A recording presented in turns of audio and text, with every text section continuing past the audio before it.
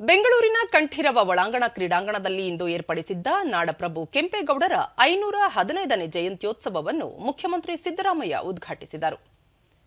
ಸಮಾಜದ ವಿವಿಧ ಕ್ಷೇತ್ರಗಳಲ್ಲಿ ಅನನ್ಯ ಸೇವೆ ಸಲ್ಲಿಸಿದ ಗಣ್ಯರನ್ನು ಸನ್ಮಾನಿಸಲಾಯಿತು. ಈ ಸಂದರ್ಭದಲ್ಲಿ ಆದಿಚುಂಚನಗಿರಿ ಮಹಾಸಂಸ್ಥಾನ ಮಠದ ಪೀಠಾಧ್ಯಕ್ಷ ಡಾಕ್ಟರ್ ನಿರ್ಮಲಾನಂದನಾಥ ಸ್ವಾಮೀಜಿ, ಉಪಮುಖ್ಯಮಂತ್ರಿ ಡಿಕೆ ಶಿವಕುಮಾರ್, ಸಚಿವರಾದ ಕೆಎಚ್ ಮುನಿಯಪ್ಪ, ಕೃಷ್ಣ ಭೈರೇಗೌಡ, ಶಿವರಾಜ್ ತಂಗಡಗಿ ಮತ್ತಿತರರು ಉಪಸ್ಥಿತರಿದ್ದರು. ಬಳಿಕ ಮುಖ್ಯಮಂತ್ರಿ ಸಿದ್ದರಾಮಯ್ಯ ಕೆಂಪೇಗೌಡರು ಕಟ್ಟಿದ ಬೆಂಗಳೂರನ್ನು ಬ್ರ್ಯಾಂಡ್ ಬೆಂಗಳೂರನ್ನಾಗಿ ಮಾಡಲು ಸರ್ಕಾರ ಬದ್ಧವಾಗಿದೆ. ಇದೇ ರೀತಿ ಕೆಂಪೇಗೌಡರ ಆಡಳಿತಾವಧಿಯಲ್ಲಿ ನಿರ್ಮಾಣಗೊಂಡ ಎಲ್ಲ ಸ್ಮಾರಕಗಳನ್ನು ಅಭಿವೃದ್ಧಿಪಡಿಸಲು ಕೆಂಪೇಗೌಡ ಅಭಿವೃದ್ಧಿ ಪ್ರಾಧಿಕಾರವನ್ನು ರಚಿಸಲಾಗಿದೆ ಎಂದರು.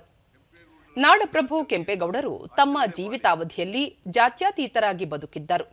ಯಾವುದೇ ಒಂದು ಜಾತಿಗೆ ಅವರು ಸೀಮಿತವಾಗಿರಲಿಲ್ಲ. ಅವರು ಮಾಡಿರುವ ಅಭಿವೃದ್ಧಿ ಕಾರ್ಯಗಳು ಇಡೀ ಸಮಾಜಕ್ಕೆ ಸಂಬಂಧಿಸಿದೆ ಈ ಕಾರಣಕ್ಕಾಗಿ ಅವರನ್ನು ಎಲ್ಲ ಸಮುದಾಯಗಳು ಸ್ಮರಿಸಬೇಕು ಎಂದರು. ಅದೇ ರೀತಿ ಪ್ರತಿಯೊಬ್ಬರು ಕೂಡ ಸಮಾಜಮುಖಿ ಆಗಲಿಕ್ಕೆ,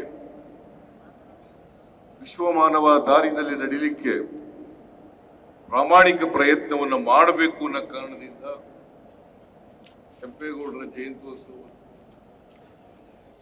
ನಾನು ತಮ್ಗೆಲ್ಲ ಡಿಕೆ ಶಿವಕುಮಾರ್ ಕೆಂಪೇಗೌಡರು ನಾಡನ್ನು ಕಟ್ಟಲು ನಡೆಸಿದ ಹೋರಾಟದ ಇತಿಹಾಸ ಕುರಿತು ಜನರಲ್ಲಿ ಜಾಗೃತಿ ಮೂಡಿಸಬೇಕು. ಕೆಂಪೇಗೌಡರು ಬೆಂಗಳೂರು ನಿರ್ಮಾಣದ ಬಗ್ಗೆ ದೂರದೃಷ್ಟಿಯನ್ನು ಹೊಂದಿದ್ದರು. ಅದರ ಪರಿಣಾಮ ಇಂದು ವಿಶ್ವ ವಿಖ್ಯಾತಿಯಾಗಿದೆ ಎಂದರು. ಬೆಂಗಳೂರಿಗೆ ಹೊಸ ರೂಪ ನೀಡಲು ಹಲವು ಯೋಜನೆಗಳನ್ನು ರೂಪಿಸಿ ಜಾರಿಗೆ ತರಲಾಗುತ್ತಿದೆ. ಈ ಪೈಕಿ ಪೆರಿಪೆರಲ್ ರಸ್ತೆ ಸಿಗ್ನಲ್ ಫ್ರೀ ಕಾರಿಡಾರ್ಗಳ ನಿರ್ಮಾಣ ಸೇರಿದಂತೆ ಮತ್ತಿತರ ಕಾರ್ಯಕ್ರಮಗಳು ಸೇರಿವೆ ಎಂದರು. ಇವತ್ತು ಎಲ್ಲ ಜನರನ್ನ ಆಕರ್ಷಣೆ ಮಾಡಂತ ಒಂದು ಶ್ರೇಷ್ಠ ಒಬ್ಬ ನಾಯಕರನ್ನ ನಾವು ಈ ಸಂದರ್ಭದಲ್ಲಿ ಗುರುಸುವಂತ ಕೆಲಸವನ್ನ ಈ ಸಂದರ್ಭದಲ್ಲಿ ನಾವು ಮಾಡಬೇಕಾಗ್ತದೆ.